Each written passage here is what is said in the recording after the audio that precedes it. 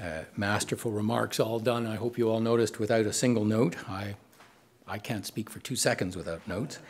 Um, I am going to um, uh, ask now uh, Fred Litwin to uh, join me up at the front. Fred uh, is going to moderate the rest of today's proceedings. And Fred is a dear friend of mine. Uh, he is currently the president of the Free Thinking Film Society, which showcases films on liberty, freedom, and democracy. And to date, the Society has shown over 100 films in Ottawa, including several on China. Some of you may remember the incident in which they wanted to show a film on Iran, and the Iranian embassy protested, and uh, the Archive, Archives of Canada booted them out. Whereupon, I'm glad to say, the minister responsible said, I don't think so.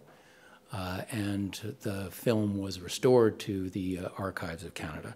Um, I think that shows uh, uh the great courage and uh, uh, moral seriousness with which Fred has taken on this job of bringing film showcasing liberty to Ottawa. Little known fact about Fred, he has his own record label in addition to his many other talents. Fred worked in Hong Kong from 1997 to 1999 for Intel Corporation as the regional marketing manager for all of Asia. He oversaw a team of 20 people who launched the Pentium 3 microprocessor. And of course, for those of you who pay attention, you will realize that the dates that Fred was in Hong Kong coincided with the handover uh, from the UK to China in 1997. And in addition to moderating, Fred will spend a few minutes talking about the human face of the Canadian expat community in Hong Kong and the anxiety now rippling through that community. Uh, Fred, please come up and take a seat here. I'm, I'm not going to hand the podium over to you right yet, but yes, by all means, please. Uh, before it's uh, uh, Fred's turn, uh, uh, I'm going to ask Gloria Fung to come up. But before I do, I notice a couple of other people who have come in. our senior fellow and former Minister of State for Asia Pacific, David Kilgour, is with us. We're always delighted to have David with us. Stephen Chase from the Globe and Mail. we're delighted to have such an important audience here for an event that I think is teaching us a great deal, not just about Hong Kong, but about China. Uh, let me now ask Gloria Fung to come up and introduce our distinguished uh, guests from Hong Kong. Gloria is a social activist and political commentator who has worked since 1997 to secure public support for the protection of human rights, the rule of law, freedom, and democracy in Hong Kong, both as president of Canada Hong Kong Link and as coordinator of a global network for Hong Kong support work.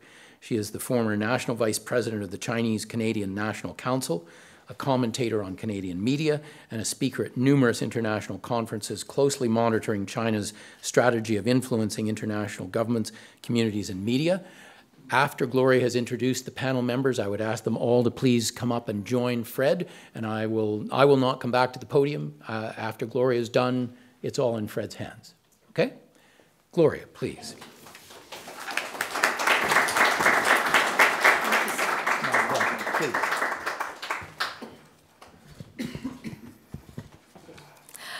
First of all, I would like to thank Dr. Crowley and also Mr. David Watson for making this meaningful Hong Kong panel happen today. This is exceptionally meaningful to the Hong Kong people when they are going through so many uh, serious uh, challenges in Hong Kong, and specifically the proposed amendment to the extradition laws that is being discussed and it's going to be probably passed in one month's time in Hong Kong. And this bill, if enacted, is going to jeopardize not only the security of Hong Kong citizens, but also citizens of all countries, including Canada, while they are working, traveling, living, or even in transit via Hong Kong.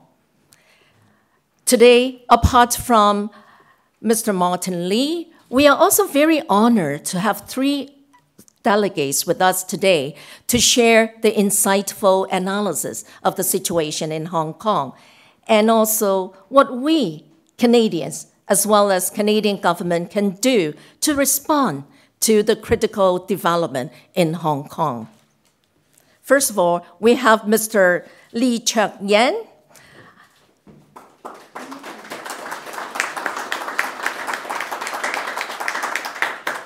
Mr. Lee is a veteran labor leader, and he's also in the executive committee of Hong Kong Civil Club.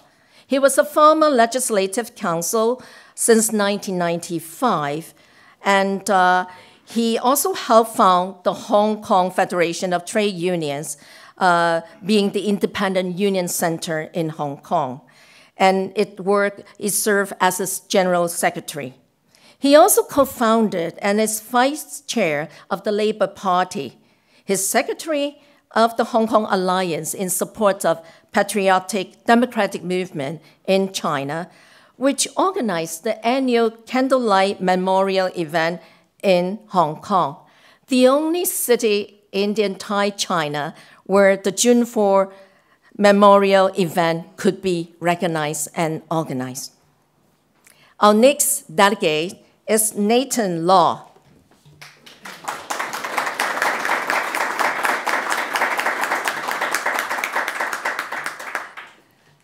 Mr. Law is Demosisto's founding chairperson. He was also the former Secretary General of the Hong Kong Federation of Students. In, 19, in 2016, he became Asia's youngest democratically elected lawmaker in Asia. He was one of, he was elected uh, as a Hong Kong Legislative Council before Beijing intervened and removed him from office. He was one of Hong Kong's first three political detainees since 1997. He was sentenced in 2018 with Joshua Wong and Alex Chow for their leadership roles in the peaceful pro democracy umbrella movement. I'm wearing yellow today, so this is an iconic yellow a color for the umbrella movement. In 2014, Law graduated from university in Hong Kong, and he will be pursuing a master degree in Asian studies at Yale University this autumn. Congratulations.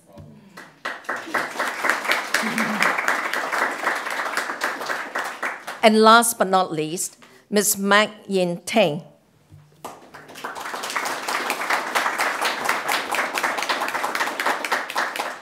Ms. Mak has been a journalist in both print and electronic media for over 30 years.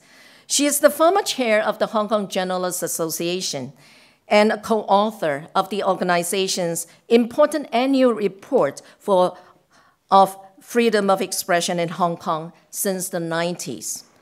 Mak began his career at the Hong Kong Daily News in 1984 as a reporter, and he joined the Press Freedom Subcommittee at the Hong Kong Journalists Association in 1995. He has testified and spoken globally about the need to preserve press freedom in Hong Kong, and he was honored in 2007 as a champion of freedom of speech by the Visual Artists Guild. Let us welcome the three delegates from Hong Kong.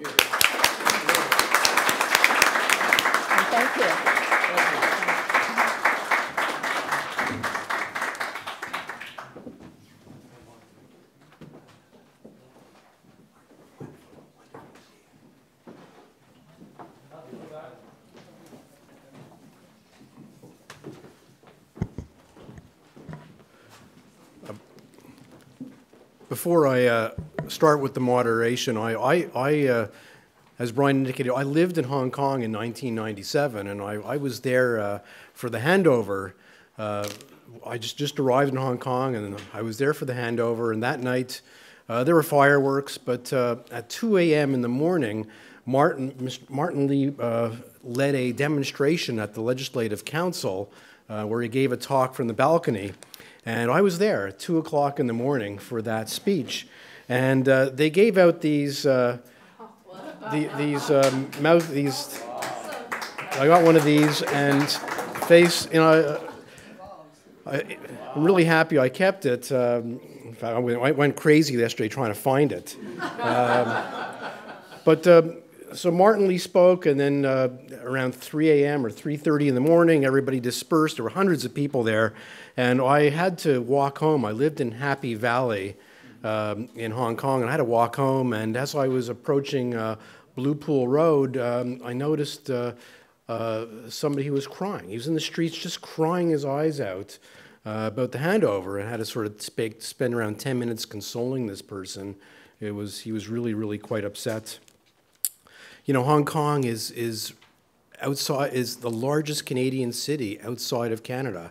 300,000 Canadians live there, and uh, they're all going to be in jeopardy. And, you know, it's, it's easy for us to say that's really, really horrible. The, but the real purpose, it's not because of the Canadians who are in Hong Kong. It's Hong Kongers themselves. That's what was really important here in caring about their freedom, uh, their democracy. Um, that's enough for us to be upset over what's happening in Hong Kong. Uh, and I, I, was when I was I was in Hong Kong for two years, and I started to see the uh, Hong Kong Supreme Court decisions being overturned by the National People's Congress. And so you could see, even back then in 1997, 98, that things were changing. So uh, thank you very much, and thank you, uh, Brian, for, uh, for doing this incredible uh, morning. Thank you.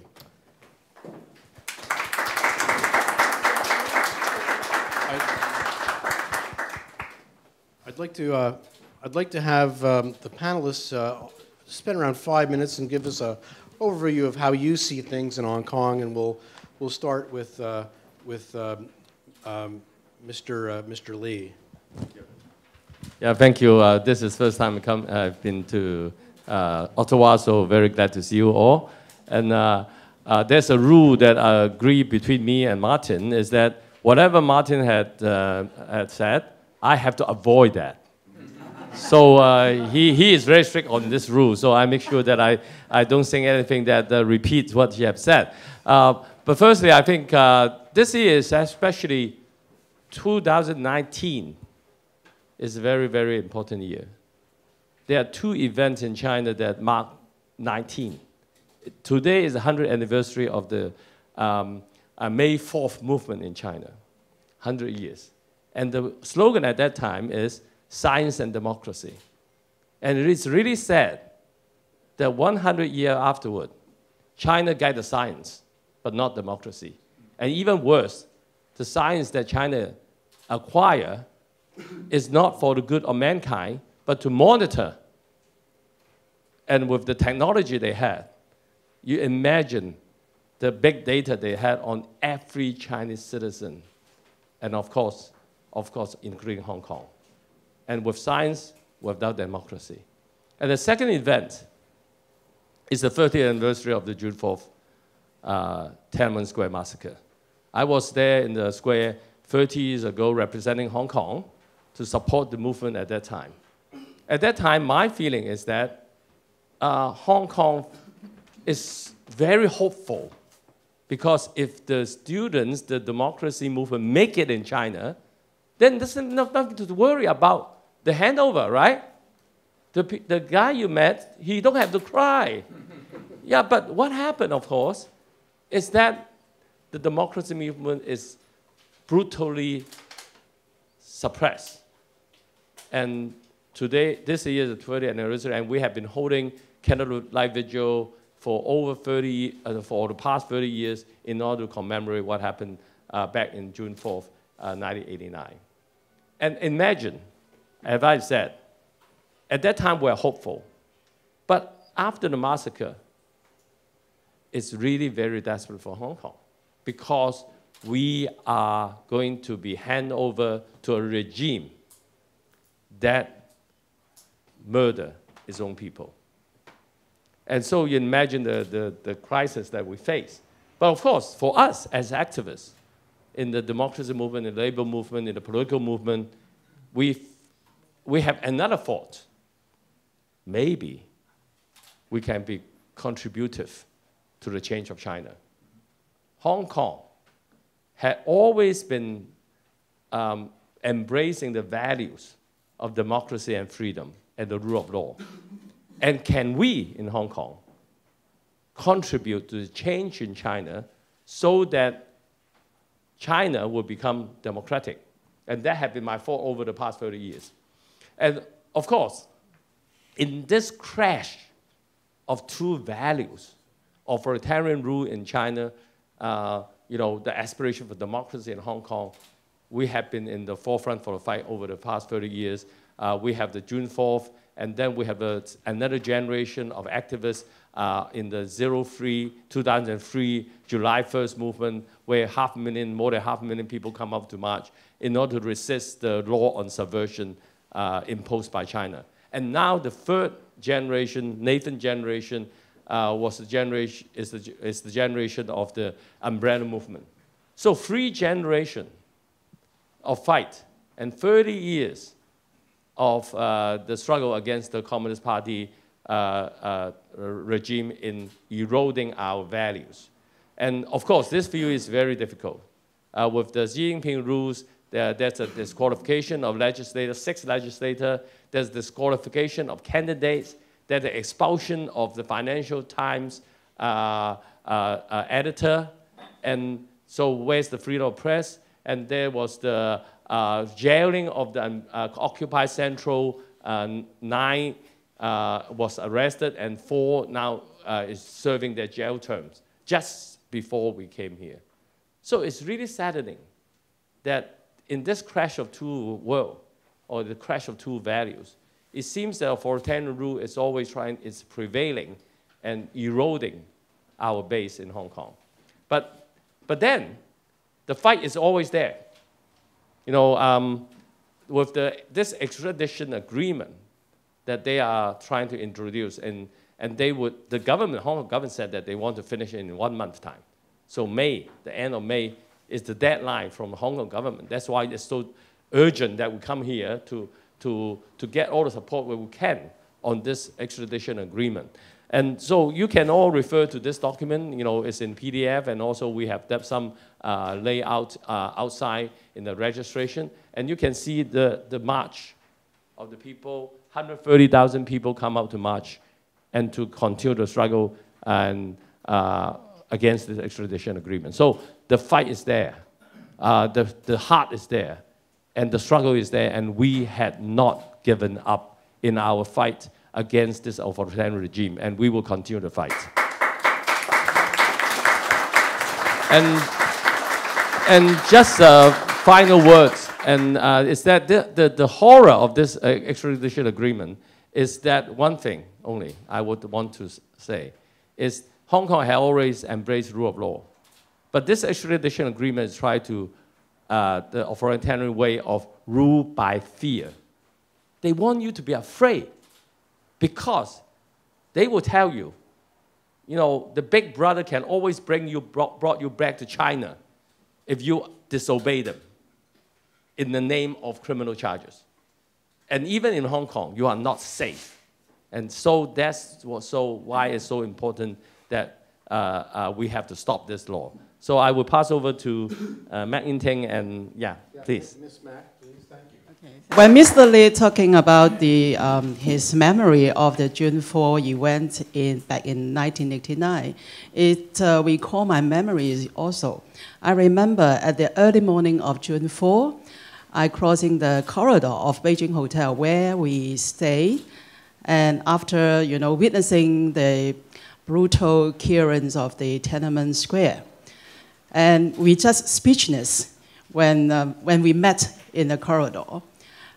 And this, is, this was not the worst. The worst is yet to come. Because after the, um, the clearance of Tiananmen Square, the Chinese government accusing the Hong Kong reporter and the, any foreign reporter to blow up the thing. They are fabricating, um, uh, defaming the Chinese government, and you know almost encourage or uh, push the Chinese citizens and students onto the streets, onto the uh, protest. And that's why the Chinese government add some clauses to the basic law to, to allow the special administrative region Hong Kong government can enact law to control the um, of information, which is the Article 23, and Mr. Lee had talked about it uh, when the Hong Kong government trying to enact law in year 2003. Fa- uh, well, luckily, they failed, and, and at that time, I was the chairperson of the Hong Kong Journalists Association, and I coordinating the media industry to fight against that law because that will suffocate press freedom and freedom of, of information in Hong Kong. Now is a new fight because the um, amendment, the proposing amendment to the extradition law actually will suffocate freedom of the press and freedom of information if it was enacted. Why is that so? You know, as I just said, during the, um, the in the 1989 June 4 events, first they welcome the, uh, the media reporting on the issues, but when the outcome is not to their likeness, they, they turn their back on us and accusing the media to blow up the things. So that will be the case.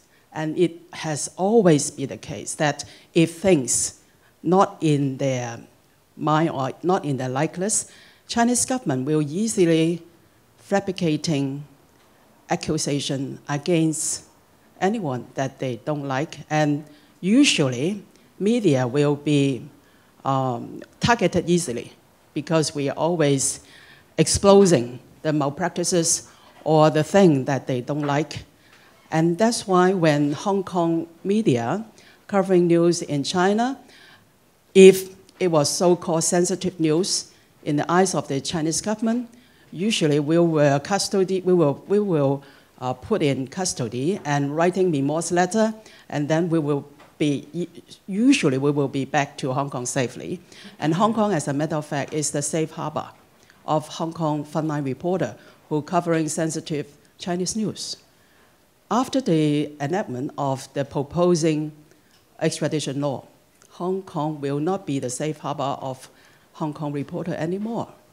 And in, I mean, naturally, as a reporter, I think both the reporter and the uh, assignment editor will decrease the number of covering news in China, especially those sensitive news.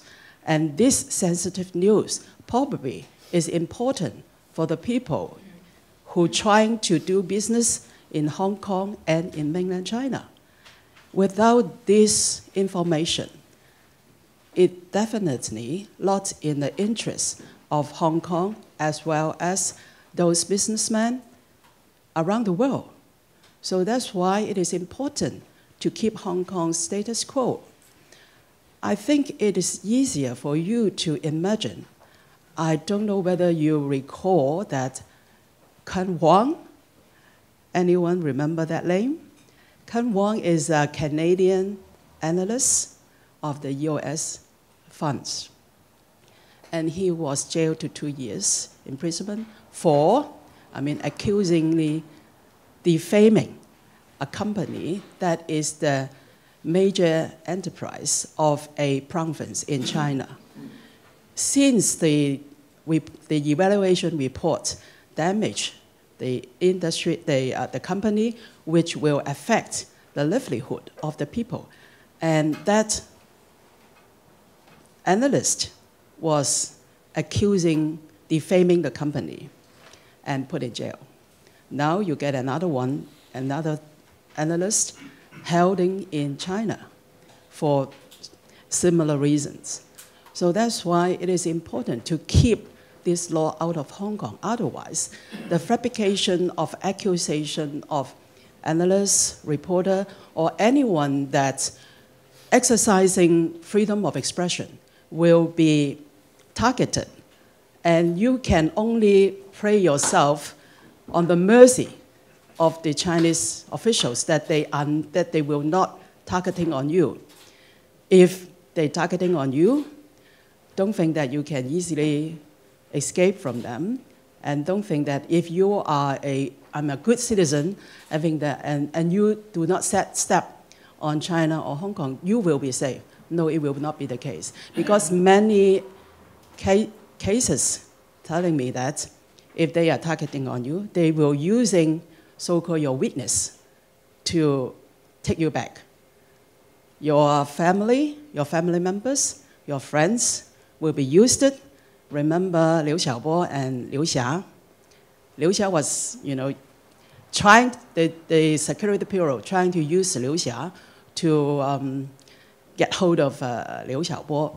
But Liu Xia loved Liu Xiaobo too much that she will not do as the security bureaus asked her to do. Then they use the brother of Liu Xia to put, to, um, to make Liu Xia finally agree to something. So don't think that you yourself can easily you know, get rid of China if they targeted on you. So we must keep this law out of Hong Kong. We must try not to allow the China law practicing in Hong Kong. And I would like to, you know, answer uh, something more if you are interested.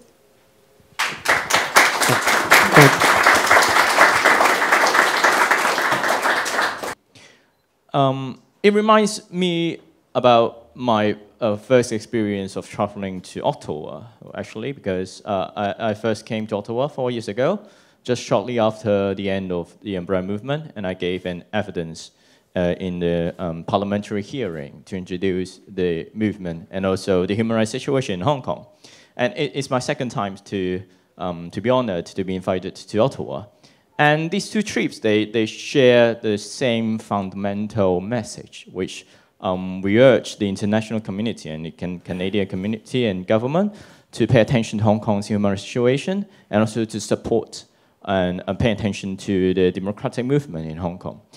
But for this time, um, the message I'm delivering or the situation in Hong Kong is far much worse than the last time that I paid a visit four years ago. Four years ago, I came here as a student leader. Before now, I came here as a former legislator and political prisoner. Four years ago, I had not been elected as the youngest lawmakers in Hong Kong, and also I had not, had not been unseated because of the Beijing's intervention in our own judicial system. And also, I had not been imprisoned and banning from running uh, for office because the Beijing government has been um, worrying about the growing influence of our younger generation and the threat we pose to them. So this had not happened, and um, my personal experience for the past four years has been a vivid example of how Hong Kong's liberty has been deteriorated. And I believe it, it's very important to let the global community to know that the situation now in Hong Kong has been worsening since uh, the movement. But that is not well, there's not a single example. We've got a lot of others political personals in Hong Kong, prestigious professors, legal scholars, legislators. They were being kicked to jail because of peaceful demonstration. And there are several uh, youngsters who have been jailed for six to seven years because of uh, the conflicts uh, with uh, the police officers under some um, like major conflicts for the past few years. So it is very devastating for us to witness how uh, deteriorated the Hong Kong's liberties are. And for us, well, I hope that um, the worst will not come in the future because at least these people are tried in Hong Kong, but not in mainland China. So if uh, the amendment of the extradition ordinance is passed, then they may not face the trial in Hong Kong, which is seen to be relatively fair, open, and with a relatively independent judicial system. When they have to face the courts in mainland China, could be prosecuted and charged and convicted without legal representation or without open hearing. So that's definitely a nightmare to these people committed to um, democratic movement in Hong Kong, who has been were sacrificing themselves for the benefits of all the Hong Kong people and the uh, democratic values that we share in the liberty in, in, the, in the liberal world. So Hong Kong, as the forefront of the combat between the authoritarian values and the liberal values, indeed, these people needed uh, your, your attention and the support from the global community. recently just mentioned uh, it is the 100 years of anniversary of uh, the 4th May movement, and it reminds me a quote from the founding uh, Chinese Communist, Chinese Communist Party member and also leader of the movement, uh, Mr. Chen Duxiu.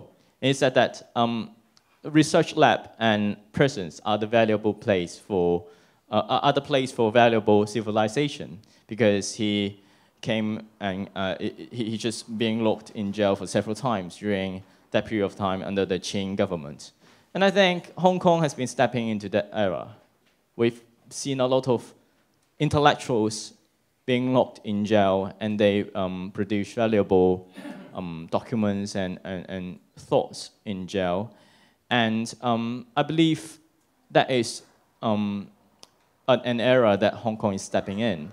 And it's definitely devastating for us to see these people who, who are very famous and very um, intellectual in terms of their expertise, but they have to uh, locked in jail for months and for years. I hope that um, in the future, um, as we get into um, the the battle of the amendment of uh, the, the, the extradition ordinance, they will not be uh, trialed in mainland China. Thank you.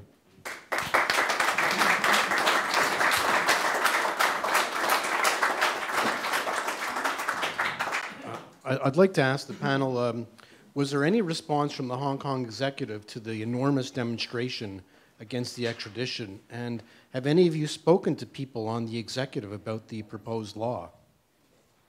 Probably as a reporter, I remember very, very well what the uh, government officials said after, the, after 130,000 people taking to the streets the Secretary for Security, who was responsible for introducing the uh, amendment bill to the, to the LegCo, saying that um, we respect freedom of expression, um, but the number of people talking to the street is not the most important thing. then you know what the reaction is. And then they still pushing through the legislation. And as a matter of fact, after you know some, um, I mean, international outcry, the chief executive, Carrie Lam, have, have a stand up uh, on the 7th of May in Hong Kong, still trying to push through the legislation and only supplementing that they will listen. That doesn't mean that, uh, I mean, okay, the bill taken to the Bills Committee doesn't uh, stop the government from listening to the people. So everyone is hoping that, ah, is there any, I mean, leakage, any room for change? But then he will say, okay, we leave the thing to the uh, Chief Justice, uh, the uh, Secretary for Justice, uh, Teresa Cheng, and the uh, James Lee, the sec uh, Secretary for Security, who spoke in the press conference just held a few hours ago in Hong Kong. Again, Mr. Lee stressed that uh, it is important to have the bill passed in the LegCo and I, think, I mean, indirectly um, responding to the accusation that the chief executive who have the power to give lot to the application, to the request from China, saying that the, the chief executive, since there is no uh, long-term agreement, it is more room for the chief executive not to approve the request from central government, which is totally absent, nonsense. We all know that, you know, from the tracking record of Carrie Lam, who usually taking every request or uh, instruction from Beijing government. And now you're saying that without a, a long-term agreement, the chief executive actually have more room to say no to the Beijing government? That is the reaction from the Hong Kong government. Uh, also, um, Actually, when uh, the secretary of, um, uh, the chief secretary said that number is not important, I agree completely with him from his point of view.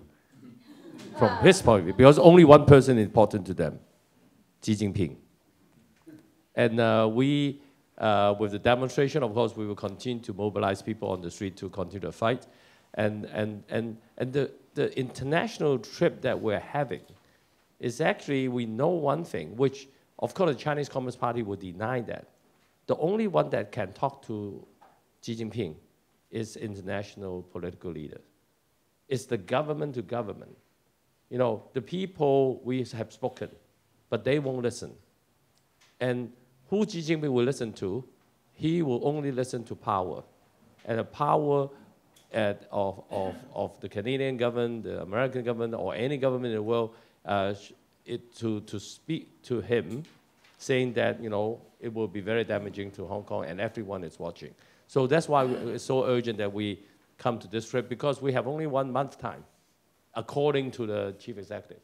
He want to do it in one month time and get the bill passed. So he, she's going to bulldoze it over, and therefore it's very urgent. And one thing, of course, they always said that uh, the, the standard uh, rhetoric of the Chinese government is that uh, uh, we don't want foreign government to interfere into the internal affair of China. That's their standard line. But this time, of course, we don't agree with this line. But this time, there's also one thing that is different from other issue, is because this, the citizen of all over the world, any government, the citizen of all, all national, will be affected. And so you are not speaking out just for the people of Hong Kong. You are also speaking out for, for visitor, for Canadian, for American, for Europeans, or for British who are now residing or working or visiting Hong Kong everyone is affected. So you are not you are protecting your own citizen, not just about Hong Kong. Of course, we need your the support also for the Hong Kong people, but this time is is is also about uh, the citizen of the world. Um, it's great to see you in Ottawa. Um, for your meetings uh, this week with the government, um, what will you be telling the Prime Minister when you meet with uh, Justin Trudeau uh, this week? Are we meeting with, are we meeting with Justin Trudeau?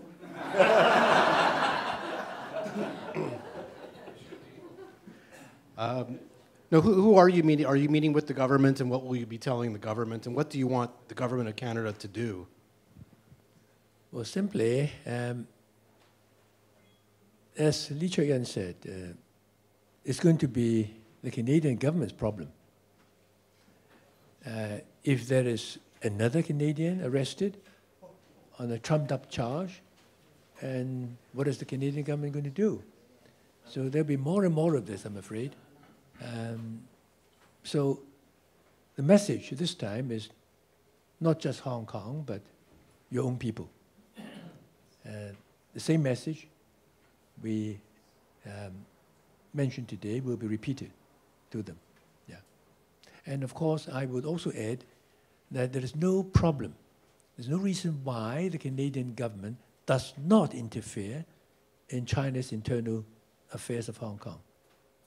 Because, as I said, when the joint declaration was first announced, the Canadian government was lobbied by both the British and the Chinese governments. So the Chinese government actually internationalized the Hong Kong issue. Mm. And when things are going wrong, there is, of course, at least a moral obligation on the part of the Canadian government to speak up. Very good. Um, actually, uh, there's one more point about, you know, you asked about the Canadian government. But one more point I want to add is uh, the Canadian uh, business organization is very important. Because imagine who is the one that first, uh, who is the one that affected? One of the sector that will be immediately affected is the businessman. Because, you know, Hong Kong is a place to do business, not just in Hong Kong, but also with China.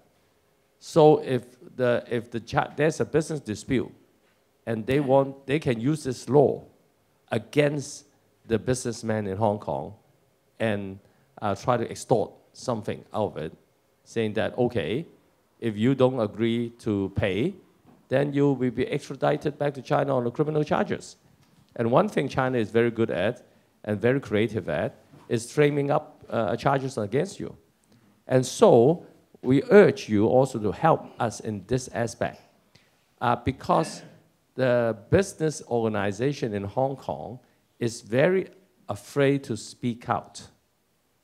Though everyone privately say that, they are really afraid. They don't want this law. But openly, they don't dare to. So it would be good if, with your, uh, the audience here, to help us in influencing the, say, the, uh, the Canadian Chamber of Commerce or any Canadian business organization in Hong Kong or in Canada to speak out because it's also the businessman issue and, and, and their safety.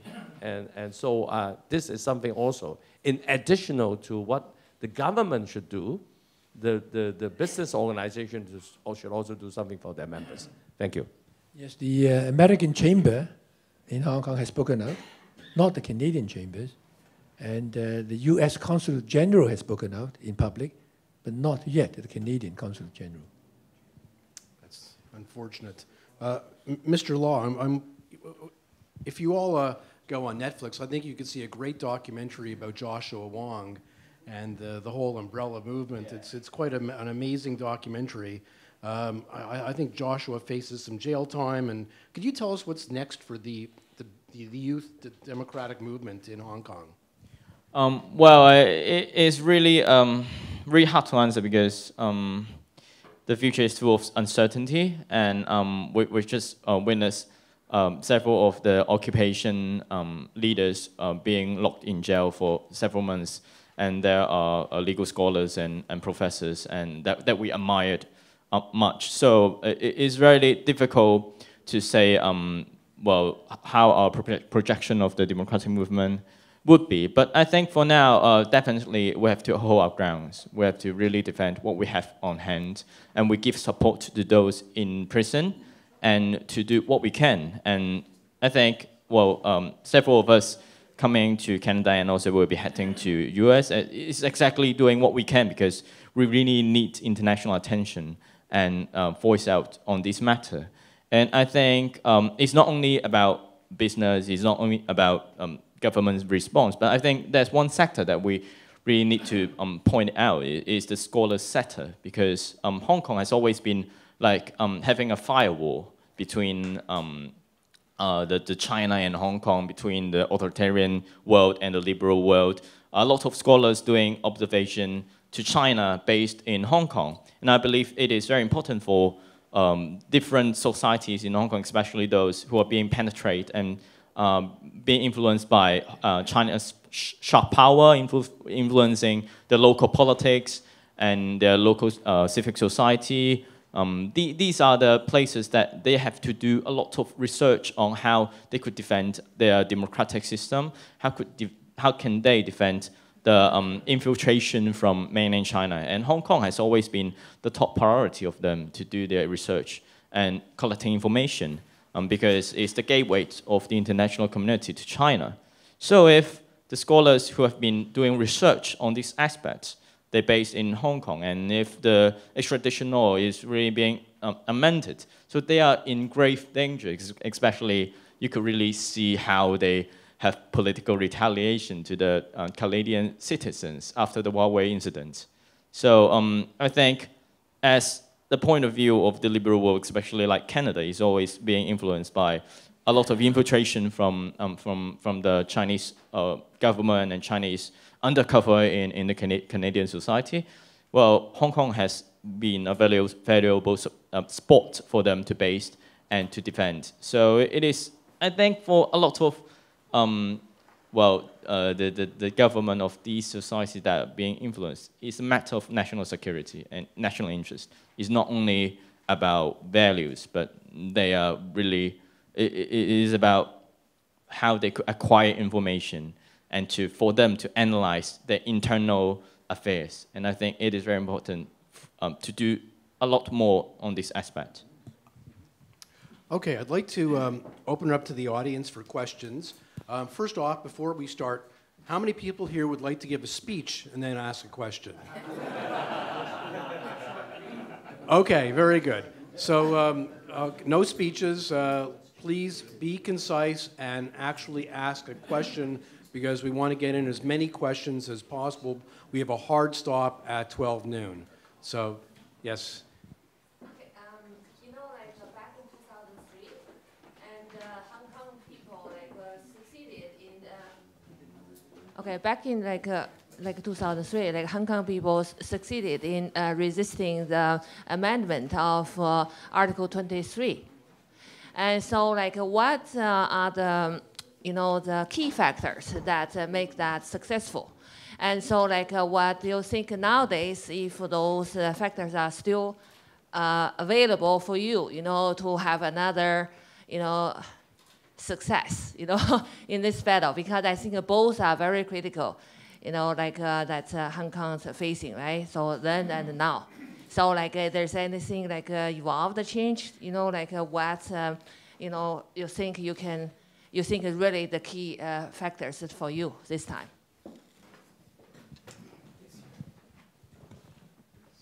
Um, I think back in the 2003, uh, the success uh, really is the people movement. Uh, because we have, uh, uh, the first time when we demonstrate is about uh, in December. We have about 60,000 people coming out to march. And then it snowballed. And in July 1st, we have um, uh, over more than half a million people out.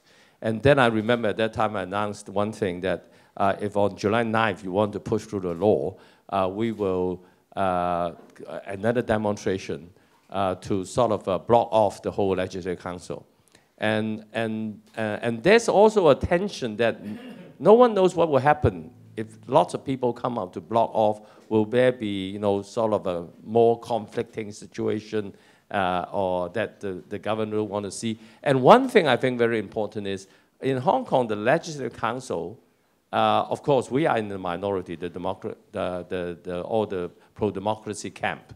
But then uh, the other side, they are the one that are representing the businessman, the professional, what they call the function constituency, and this is a system that we try to, you know, sort of overthrow for many years, and you know, so far not successful. You know, the one of the thing about the umbrella movement is that we want to have a real democracy to elect the chief executive and also elect a full legislative council, and not assigning the seat to interest group. And one thing at that time in zero three, the interest group they are also afraid. And, and, and because the, the political party that represent the interest group, they are thinking that, oh, if we side with the government, and then the people will remember them, and they will be finished uh, in, in any possibility of going to direct election. So maybe they can still be successful in the functional constituency. But some political party of the functional constituency also want to go for direct election. And the people have spoken. And so that is the thing that really changed because the people have spoken. And this time, we are, of course, we are trying the same formula. You know, people come out, and then this time, uh, even in a way, compared with uh, the Article 23, the businessmen themselves are the one affected.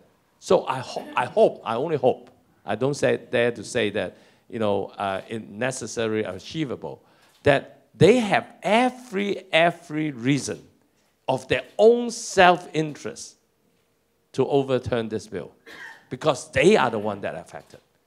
And if we mobilize enough people on the street, then they can say to the Hong Kong government, oh, this time I think the public opinion is too much against this bill, and uh, we will vote against that. There's, I'm still naive sometimes, you know, and, and I think that drives me going on. So hopefully, because of their own interest, because they are safety at stake, and because we have a strong movement, and, and also international pressure, uh, we can really uh, defeat this bill. And, and that's the analysis we have now. Um, the bill was supposed to be returned to the Legislative Council uh, on the 9th of July and um, 2003. And uh, a vote could then take place on the following day. But towards the end of June, there was um, a public statement released from the White House saying that the US president was opposed to the bill. And that was the first time that any government said anything of that kind. Uh, and it also called upon the Hong Kong government to implement democracy in Hong Kong as soon as possible. Because of the publication of that statement from the White House, the British government came up with similar support uh, for us. And then uh, followed by the Australian government, New Zealand government, uh, the Canadian government, and, and so on. And so the Hong Kong people took courage from the international support that was given to us. So I'm hoping this time around there would be likewise international support. The um, Americans have spoken out, and uh, maybe you can work on your government soon. Yes, in the back. Thank you. Um, thank you very much for coming here. I kind of think of you as the Fantastic Four arrayed against a host of enemies because we know that China puts tens of billions every year into propaganda and outreach to the likes of us. So thank you. I have a question. You talked about extradition. This is obviously uh, central to what we are talking about today. In Canada, of course, we have our own extradition issue related to China. And what has been disconcerting for some of us is the speed and enthusiasm with which a number of important Canadian politicians and business people have actually gone so far uh, to say that it, it, it's the Americans' fault. And also, uh, some have even suggested, including a former deputy prime minister, that we should have just looked the other way and let uh, this fugitive, uh, uh, this identified person in the, in the extradition treaty, to go on her way. Shame. When you look at Shame. things like that, coming here to Canada, trying to promote opposition to this law in Hong Kong, um, do, you, do you not become somewhat distressed or perhaps a little bit uh, depressed about the potential here for a positive outcome? If these uh, politicians represent all of you, then I would go home now. and obviously they don't. Right on. so, so you guys speak up. Next, over there, yes.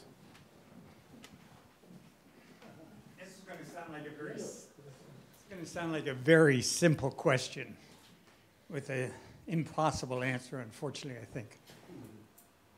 I have a lot of trouble understanding how uh, the Hong Kong government, or the Canadian government, or the Taiwanese government, or the Japanese government can possibly negotiate with an evil organization and expect to get a negotiated settlement.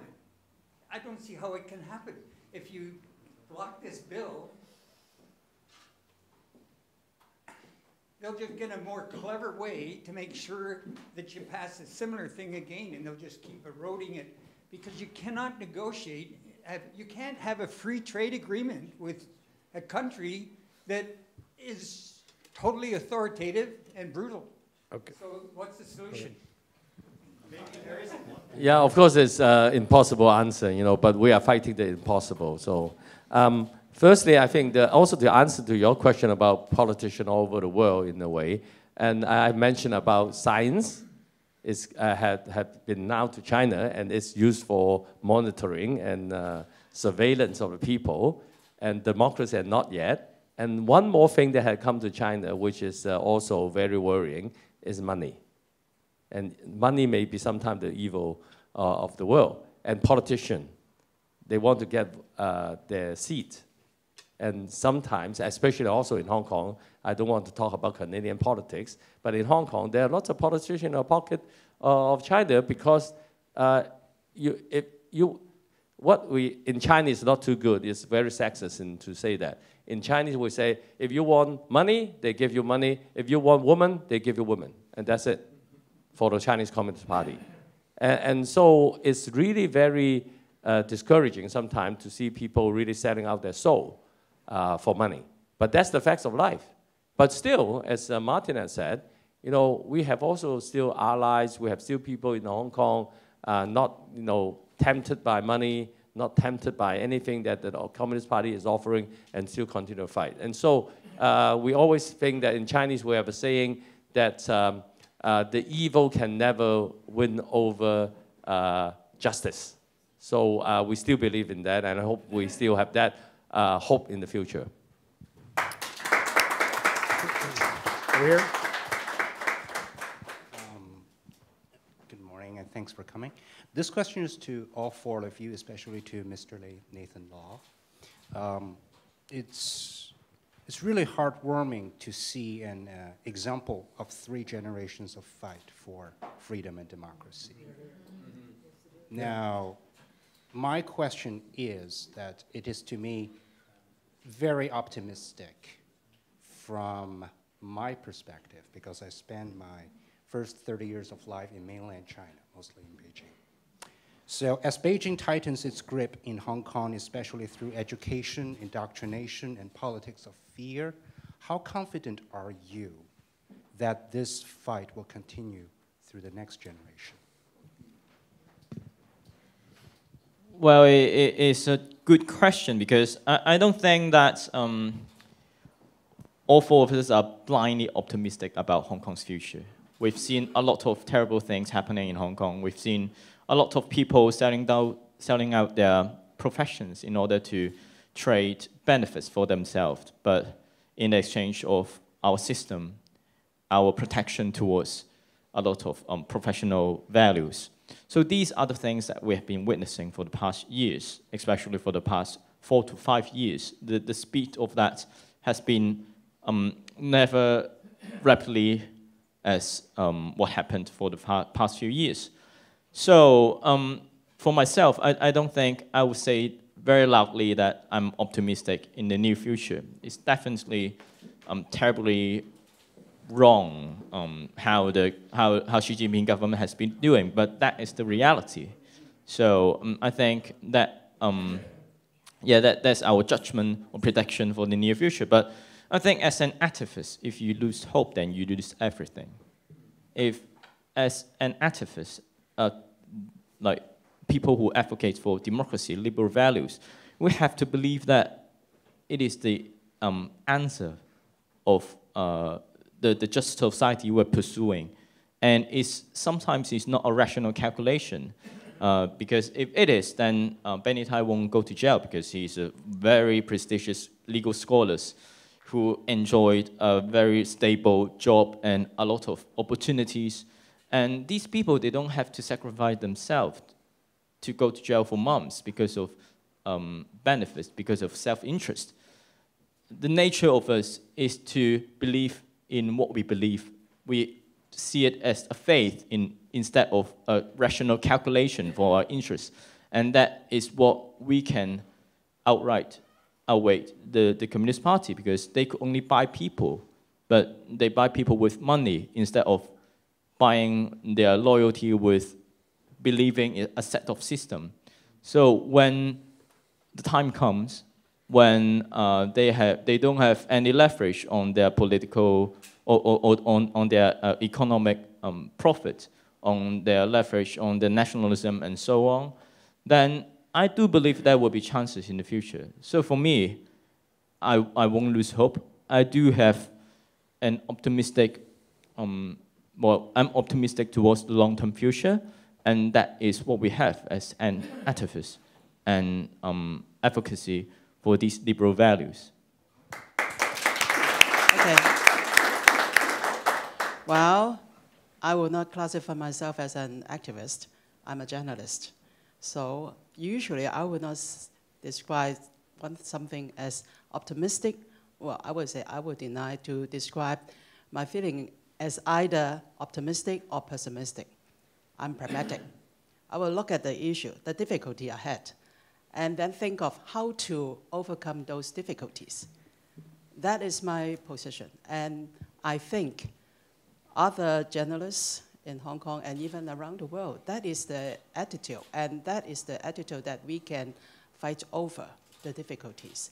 So the, I think the next generation of journalists will still have this belief. even though I, I think I have been, you know, travel around and saying that the press freedom in Hong Kong has been shaken um, for quite a, quite a, a, lot of, uh, a long, a long time, but still we are fighting. We will not saying that it is difficult, you just give up, you kowtowing. Do you, do you believe that kowtowing can give you the safety or the security? No, you, you, you know that it will not be the case. So the most pragmatical way is to fight over, to defend what you think you and your country deserve. And I also fight for what the media deserve and the Hong Kong people deserve. I think that will be the attitude of Hong, Hong Kong people.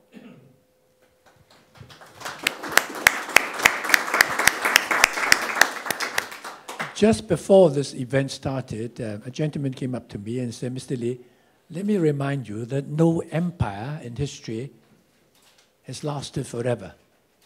And when the empire comes to the end, the emperor must step down and face elections if he wants to continue to be the ruler. Now, I'm older than Mr. Xi Jinping, but then we have Nathan.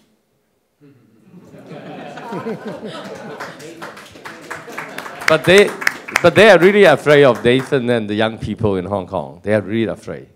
Because what they did actually is they disqualified them from election. Why should they have disqualified them from election? Because they want to whole, destroy the whole generation of activists. There's no avenue for you to participate in politics. And uh, they use some pretext of uh, what they call uh, your call for self-determination is, uh, uh, is against the principle of one country and things like that. And, and that is the Communist Party. They are, you know, trying to uh, uh, destroy the hope for the next generation to shape Hong Kong. So you are, you are not quali- qualified. And this is the fight that we also have to uh, continue. So now we are on the defense in terms of extradition agreement. But then after this, when we have again be, uh, revived, you can say, uh, the, the, the people movement for, for Hong Kong, then the next step we will have to fight for the rights of the, uh, anyone in Hong Kong to stand for election. And this is something that is really very important, which the Communist Party have denied, uh, the whole generation of young people. Next. Over there. This is a follow-up from the last response. Beliefs is, are a sure way to tribalism. Religion is the one factor that turns it into tribals. At least in the Communist Party, they do not allow religion to interfere in their judgment. And I think that's a good thing. Do you think that China would have advanced to the level that it is today if every member in the, in the Communist Party listened to every individual to tell us their views. Look at us here in Canada. We cannot get one single thing happening because we listen to everybody that wants to say something. You may, you may think it is absolute nonsense, but would, do you think that China would have actually come this far? I, uh, look, I'm not supporting China. I'm simply Just- saying, I'm simply saying Just- that China is not all bad. Democracy is not all good. Uh, Isn't just a- it a- ask your possible- question, isn't please. it- I'm asking the question, isn't it possible that we can use the synergy between the two systems of governing to find the best solution? Okay. So you admire their basic uh, dictatorship? Who would like to answer that? Uh, Mr. Law. Well, um, well, thanks for the question. At least you have the room to express your view without any interference. And um, yes, definitely, resolving problems are an important question on how we could increase the utility and the efficiency of a political system. But the way the Communist Party doing is they erase people who brought up the questions. So there is no problem to be resolved because there is no problem based on the premises of there's no one bringing out any problems. So uh, that is the problem of the Communist Party. That you don't even have room to express your view. You don't even have room to debate. And you can only listen to one single solution. Sometimes it works. it works. Sometimes it is. You, you look at the economic development of, of China, then a lot of people admire how they have accomplished. But sometimes, and most of the time, it doesn't. Look at the human rights situation in mainland China. Look at Xinjiang, Xizang, Tibetans. Well, these are the very obvious problems that lie behind this political system. Democracy is not perfect. Democracy is just the most, um, well, a system that respects us the most among all these terrible political systems. And we still have to figure out how we could resolve conflicts within this system. And that is, I think, that is the way that the Canadian community has to go. And at least you have the freedom to bring up this question instead of just being silenced. So I think I, I really respect you and your, your, your opinion. And that is, I think, the beauty of a democratic community. Maybe I, I share. Maybe I share some quotes from the Communist Party with you. I remember before 1949, before this uh, setup of the, the formation of the, new, the PRC, the Communist Party have written a lot in their own propaganda newspaper and saying that democracy and press freedom is the twin brothers, and they are needed in the world because they need it to overthrow the Kuomintang. But after they, you know, came in, into power, what they did, they almost, you know, they're suppressing press freedom, and no democracy is announced in China. And especially, this was the idea when Falun Gong was suppressed in, I think, uh, 1990 something, the mid 90s. And they, and they take the lesson from Kuomintang, who allowed the Communist Party mouthpiece to talk about the admire of press freedom and democracy, and which finally overthrew Kuomintang. So they not allow any such voices from appearing during the Falun Gong issues. So I will say your wishful thinking is only a tool for the Communist Party regime to hold the party in power. Then you will learn or you will, I will not say suffer, but probably you will have the lessons after several years and, and, and you, you will be taught whether it is a genuine think, wishful thinking of the CCP or is only a tool to gain the power. Um, can I say just one word? Of course, a lot of people would like to have uh, an emperor who is benign. Um, but is that the way God wants it? Otherwise, God can rule the world directly, you know? but why doesn't he do that? He leaves it, he leaves to the free will of the people, the free will of his creatures. There must be some logic in that. And uh, so I, I would rather um, have my free will and work with other people's free will and try to make a consensus if possible. But if not, then what? Drop democracy? I agree, democracy is not efficient at all. It is not an efficient form of government. If everybody would listen to me, I would consider to be efficient. But what about the rest of you? and Winston Churchill knows that democracy is not the best, but is there something better? So, uh, and that is why no empire can last forever.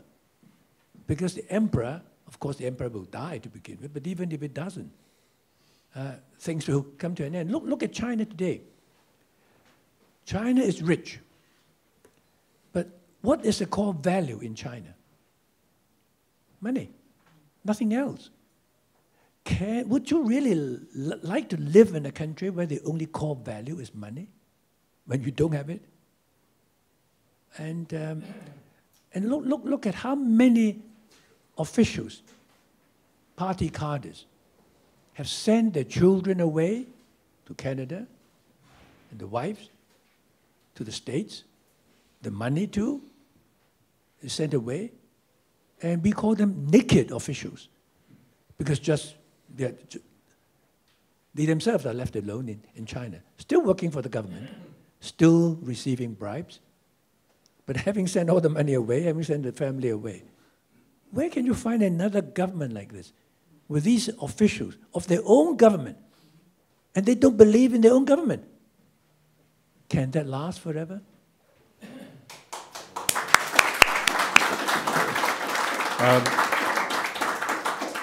Doc, Dr. Crowley, do you, do you have something to uh, ask or add?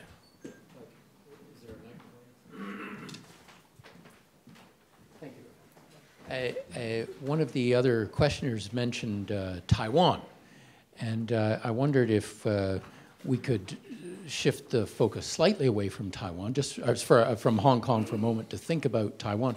Uh, The way that the um, one country, two systems approach was justified in part, uh, at least as we understood at the time, was this was going to be a model for China to offer for example, to Taiwan, to say, we can accommodate uh, everything that you value about Taiwanese society as it has evol- evolved freely since uh, 49. Uh, what would you have to say now to the Taiwanese uh, who are being solicited by the Chinese to rejoin the mainland? Uh, uh, is the old one country, two system philosophy dead now? Uh, and if not, what is the future of the relationship between China and Taiwan, given the experience that you have had in Hong Kong? Yeah, I think in the past when um, we try to present a picture that uh, one country two system, uh, uh, the fight for our democracy, and you know, uh, one of the incentive for the Chinese Communist Party to sort of you know give in to our demand for democracy is Taiwan. But you know, look at what happened now. Uh, Xi Jinping uh, is trying to destroy one country system. And this is so obvious. I think the Taiwanese, everyone know that it won't work for Taiwan because it don't, doesn't work for Hong Kong. So the, there's no, the, the so-called incentive is no longer, is, is, they destroy the whole incentive for Taiwanese to uh, follow the model of uh, one country system. But then, I think, the whole Taiwan uh, government and the society should learn from Hong Kong. Because what they are doing to Hong Kong is what they are doing to Taiwan now they have done to Hong Kong, they try to uh, lure Hong Kong elite and the businessmen to support the Communist Party by giving them a lot of business deal inside uh, China. And, and then the businessmen, naturally for their own interest, Sometimes we sold out, sell out Hong Kong as a whole. And now what they are doing also in Taiwan is when you look at Kaohsiung, when the Kaohsiung mayor was successfully uh, voted in, and he said that, oh, my slogan uh, of the, the mayor uh, can candidacy is that uh, uh, Kaohsiung will fa, fa dai chai, will be um, uh, prosperous. Uh, we all will be rich. Kaohsiung be rich.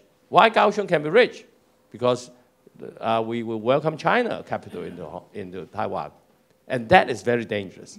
And that is the, the sort of uh, uh, the, the, the beginning of the end, you know, if they go on that road. And now Foxconn uh, president is going, uh, the, the, the CEO or what they call the chairman is going to run for uh, presidency. And she, he is the one also will be speaking for China. So, but I'm, I'm confident in a way that especially younger generation in Taiwan, they won't trust that. And when they look at Hong Kong, they know what actually not to follow. And therefore, our fight is also for the fight for Taiwanese, uh, uh, that uh, our asserts for high autonomy is something that we have been fighting for, and, and that is a lesson for the, the, the, the whole Taiwan. Anybody else on the panel? Yeah, um, probably I supplement of it. We, just before we came, we talked to some um, Taiwan students. Actually, they, they are also worrying They know, I mean, we all know that a, a free bird will not like to be caged. But the point is, they're also worrying that the uh, economic development in Taiwan is not good. And it is, that is why even the youngest supporting um, Han, uh, the, the, the new mayor as, because they give them a hope that Kaohsiung will be rich. And so they're always saying that. They're worrying because they face the economical recess, and they also afraid that they um, I mean, the democracy development in Taiwan is shallow. It can be easily um, changed or derailed by the um, economic interest or economical um, uh, incitement for them to at least take a more sympathetic approach towards mainland government. So they're always saying that it is a waste of time. They have competed with time to allow the democratic take roots in Taiwan before the grad or the, the rapid or gradual economic development of Chinese enterprise take place in, in Taiwan. So we can never tell what will be the relationship of the straits. But the people themselves have some alert. They don't want to, uh, to follow the model of Hong Kong, but they also know that there is some restraint, and they are now in the race of time, and I hope very much that um, the international support can you know, give them more time to have uh, better ways in, in, in this regard. I think this is a wake-up call for the leaders of the world. Um, you see China spreading her influence, one belt, one road. Uh, it's not just Taiwan, there's many, many other countries. Every country would like to have a bigger slice of the China trade. I mean, you would be a fool if you don't want money. You, you boost the economy and so on, but at what cost? This is the time really to think. You know, you have to decide one way or the other what to do about it. China has to be held to her contracts, to her treaties. Otherwise, what's the point of entering into further treaties with China? You're just kidding yourselves. Um, I remember in the year 2000, I was asked by President Clinton, that was his last term and coming to the end of it, to go to Washington, D.C. to help him win over his own party, Democratic Party, Nancy Pelosi. Uh, in, so that he could uh, support China, China's entry into WT, uh, WTO, and also giving to China permanent normal trading relations. Um, because I wrote an article that I would support that. And uh, he was encountering a lot of opposition from Nancy. So I went there, and uh, Nancy told me that the vote, which would be taking place in 10 days' time, would be very close. It's, uh, she wouldn't know which side would win. She opposed it because she was worried about human rights in China and others. And uh, she said, either side could win, the margin would be, could be as small as one or two votes. And I told Nancy, I, the reason why I'm not on your side is because I want China to learn to respect agreements. And let us hope that China will have the advantage of getting WTO and PNTR. And, but you must hold China to agreements. And that's the message I gave to Bill Clinton when I met him on the following day. I said, You don't have to tell me your motives, but I will tell you my motives, why I'm supporting you. I want China to learn to respect commercial contracts first because there's money to be made. And hopefully soon it will spread to human rights. So China must learn to play by the books. But I told Mr. Clinton, if we win, don't just fold your arms and celebrate. You must make sure that China honors every condition. There must be compliance. And I said to him, history would have one of two things to say about you. President Clinton worked very hard in getting China into WTO and with PNTR, thereby prolonging the reign of the tyrants. Or President worked very, President Clinton worked very hard, and so on. And soon thereafter, there was the rule of law. And I said, compliance is the word. But unfortunately, there was no compliance. That, that's, the, that's the problem. If, you, if the US government had insisted at that time, before China got really rich, to comply, there would be a different story. But to give China WTO and PNTR without insisting that China complies with all these terms, I think has ended the US government as what it is today. But whatever we think of President Trump, he is waking up at least to that aspect. So I think the world leaders have to wake up. What do you want from China? Just the money? Without conditions? That's something very serious for them. David? Um, they are a, perhaps a factor in, in helping you to succeed because you see just how terrible uh, the failure of the rule of law can be uh, for people of faith. Thank you. I always believe that if one single person's freedom is infringed by his or her government and you do nothing, sooner or later it gets to you.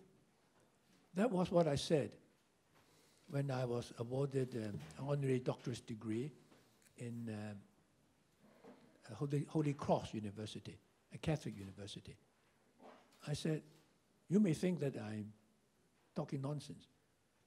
But if there is somebody somewhere in the world who has lost his or her freedom and you do nothing, soon that government would be encouraged to do more and more and more, and more and more people will be deprived of their freedoms.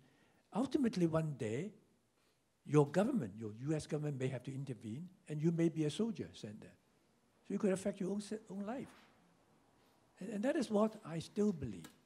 I'm a Roman Catholic, and I believe that religious freedom is the most important thing. That truth really matters. And, and yet, in a way, it's very distressing because then there are alternative facts, we are told, and uh, truth is not that, it's not that necessary. And, uh, and I, I think I'm too old for that. I, I just couldn't, I couldn't uh, uh, bring myself to, to agree with it. But if you talk about China's suppression of freedoms of religion, and my Pope has entered into agreement with China. And I don't even know the terms of that agreement. Nobody knows it, you know. And yet it's being enforced already. But as a Catholic, I could only say this that whoever Xi Jinping, no matter how powerful he is, and no matter how naive the Pope is, um, God is superior to them. And the Almighty may actually make them think happy to be able to reach this agreement. And then it may work out something differently according to the expectations.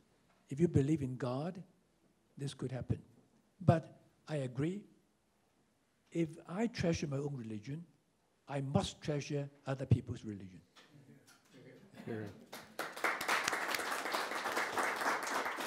I- I- I'm sorry, but we've really reached the end. We'll have time for one more question. We'll go back from where we started to Gloria. Well, Actually, um, ever since the uh, proposed amendment to extradition law has been tabled in Hong Kong, it has aroused very deep concern around the world, particularly in Canada, where we have over 300,000 Canadians working and living in Hong Kong. On April 6, there is a joint statement, international joint statement. Uh, we have five Canadian community organizations uh, and also five American community organizations signing a joint statement uh, opposing to this proposed amendment.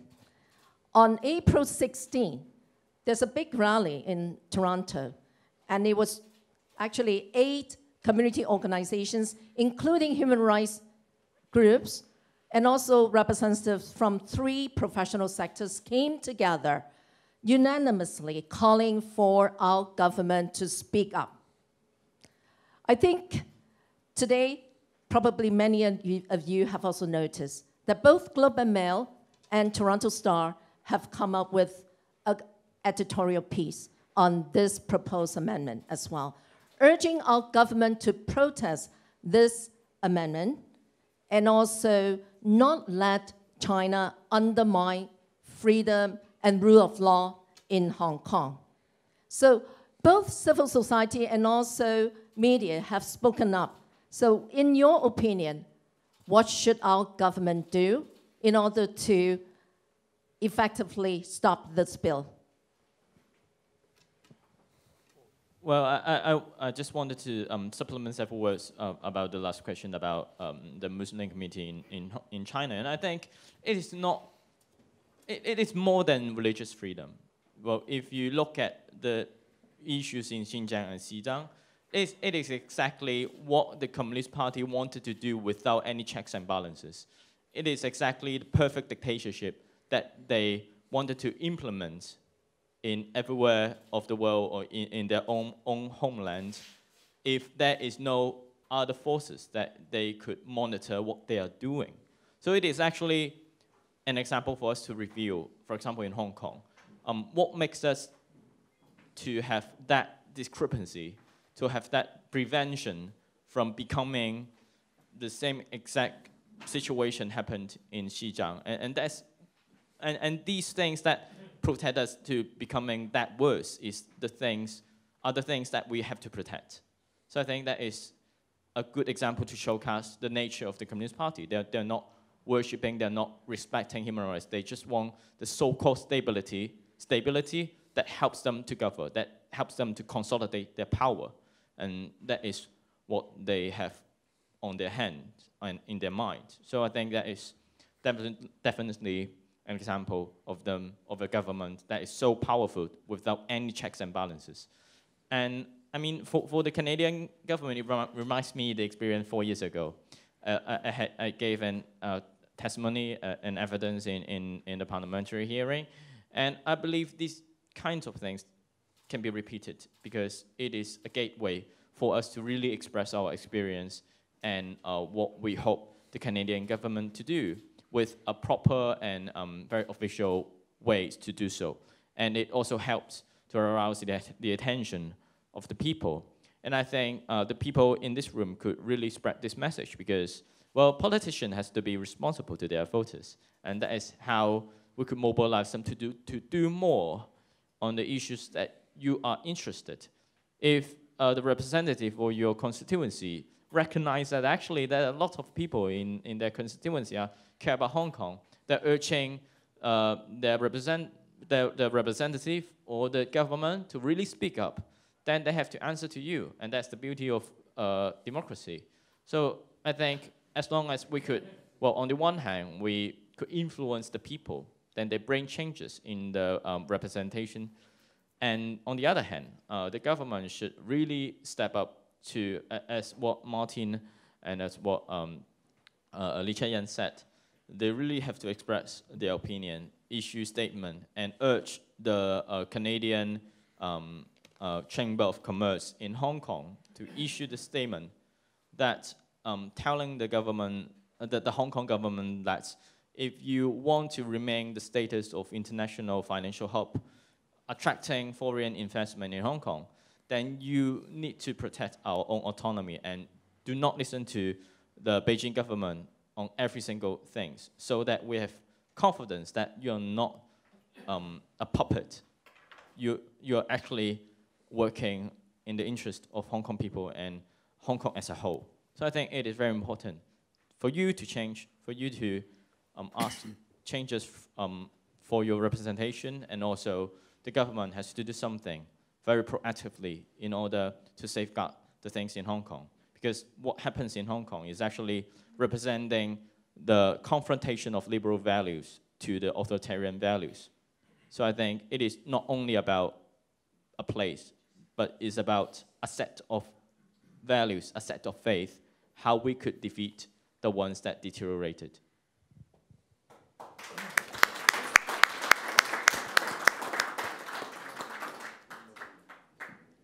I don't like leading questions. if I was going to decline answering that, if I were in court, I would object to it. But Hong Kong is the litmus test as to um, how China honors her agreements. Um, I recall that uh, Deng Xiaoping said when he made this joint declaration with Margaret Thatcher at the time, he was saying that we Chinese always honor our word. We Chinese, we Chinese honor our word. But does the Chinese Communist Party honor its words? Xi Jinping also said rightly words to that effect that to the Chinese, what they say counts. But does it? But Hong Kong is an interesting example. I mean, there is this international agreement that which Chinese government bragged about at the time, reminding everybody that it was actually registered with the, with the United Nations. Uh, and then, lately, some of the officials said the Joint Declaration has already outlived its usefulness. In a way, they're right, because they already got Hong Kong back. And the British government didn't protest either. Uh, without, but I said, without the Joint Declaration, there could not be a Hong Kong special administrative region. Because without the Joint Declaration, Hong Kong and Kowloon would still belong to the Brits. The new territories would have to go back, so there would only have to be, there could only be the new territories, special administrative region, without the agreement. So China needed that treaty to undo the harm created by the two of the three unequal treaties. And having got Hong Kong and Kowloon back by the Joint Declaration, how could China say we're no longer bound by the Joint Declaration? But the British government said nothing. The rest of the government, who supported and still support the Joint Declaration, said nothing either. So of course China would say, all right, if that is the way you guys would behave, I can get, I can do more harm to Hong Kong, and I would expect you guys to shut up because the China trade still is important to you. And are you going to let China get away with that over Hong Kong? So the only right thing to do is to ask China to honor her obligations to Hong Kong before there is reason for you to enter into more treaties with China. That's the only way. But of course, a lot of politicians, particularly those in power, will think differently. Two years ago, I came over with Anson Chan and I talked to the uh, Canadian government people and I said, look, we know that a lot of Chinese Communist Party cadres have actually got into different political parties in Canada. And they say, oh, doesn't matter. Uh, Chinese come in and uh, the next generation will treasure our values. So sooner or later, they're going to be just like us. But if they are sent here as agents, you think you can convert them? So there's a lot of naivety going on. Uh, but of course, money is always the excuse for you to be naive and not think about how serious these things are. And, uh, and of course, I want my country, China, to be great. My great China dream is not just being powerful and rich. My great China dream is that all the 1.4 billion people in China will enjoy their freedoms like everybody else in the world. And I'm confident that democracy will come to China because this is the world trend. In spite of some disbelievers in democracy, that is still the only way forward. China may be the last to have democracy, but China would still have to be there. There's no other solution, no other way. And um, of course, I would not live long enough to see that, but hopefully Nathan will be. No, I, I, I think Martin is not right in saying that, that uh, Nathan uh, is uh, going to see it. I think that Martin also going to see it. Yeah. Here, here. That if Ma- because if Martin see it, I'm definitely I'm going to see it. But uh, back to the question, I think it's very important that, of course, the, we come here to uh, ask that the whole uh, the Canadian government uh, and also all the three party concerned come up strongly uh, on opposing this extradition law. This is a short-term thing that we really need a victory on. Um, and also, you know, from a Canadian point of view, you know, uh, you have already a hostage situation. And the question is, do you want to create uh, more hostages, uh, but the next time it would be in Hong Kong? And I don't think anyone would want, to that, want that because of the security of uh, any Canadian uh, here. But uh, finally, I think uh, it's more important also to fight this because in the long run, I think the group of male yesterday asked me a question, you know, how, don't talk to, not just about the extradition law, how about the whole long-term strategy of the world leader on China? And that is the question. And I think, you know, extradition agreement is something to show the values of the, the world, you know, the, the, the value of freedom and democracy. But in long run, one every country have to ask themselves, what is important? Is it only money? Or actually more important, uh, further down for our next generation, is the victory of the values of uh, freedom, personal dignity, and just justice. If that is the case, then in the short term, maybe we have to sacrifice some economic interests. Maybe we have to do that because in the long run, what sort of world we want is a very important question for every human being in the world.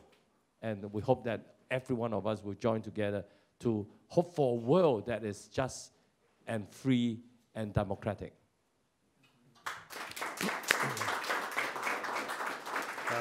Be, before we I'm thank sorry, our can, panel. Can I say oh, just one more thing? I'm sorry. I always want the last word. there is an actually an easier way. Because China never said, the Beijing never said that we must legislate on the extradition law by amendment. Our chief executive actually said Hong Kong or her government wants to plug this loophole. So the decision belongs to the Hong Kong government. That's much easier. You're not going to offend China. All right? So why don't you just get the, your consul general in Hong Kong to ask our chief executive, Ms. Carrie Lam, what the hell are you doing? All right? And she would have to explain. Just uh, before we thank our panelists, I'd like to, uh, if we could all thank uh, the Macdonald-Laurier Institute and Brian Lee Crowley for organizing this great event.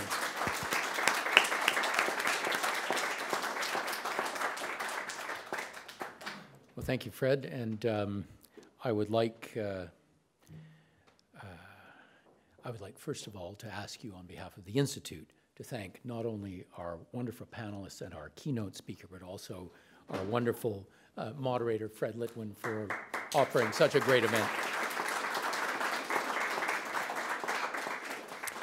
and I'm going to take my courage in both hands and disagree with something that Martin Lee said. Martin Lee, I, am open to correction on this, but uh, Martin Lee said that uh, you know the value that drives China today is money. I actually don't think that's right. I think that, and, and this gets right back to a question that was asked from the floor, in which one of the questioners said, of course, China's abolished religion. Bullshit. Okay? The religion of China and what drives China is the worship of power, of which money is an instrument. Of which money is an instrument. And uh, China will spend any amount of money to maintain their power. Uh, and uh, you know the the the degree to which uh, Canada and others have been complacent in uh, some of the things that China has done uh, has been, of course, in the pursuit of money.